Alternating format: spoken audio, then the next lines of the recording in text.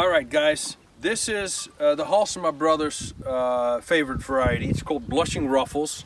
It's a very low growing uh, daylily uh, with a lot of flowers. As you can see, you look further down, the amount of flowers that are on this plant is just unbelievable. But besides the amount of flowers, look at this, look at the color of this flower. I mean, it's just unbelievable. Look at the yellow throat uh, green throat goes into the yellow. The, this is a top, top flower on a plant that blooms really, really, really, really early to really, really late. It's a long, long, long blooming variety. Top of the line. Oh, and look how strong.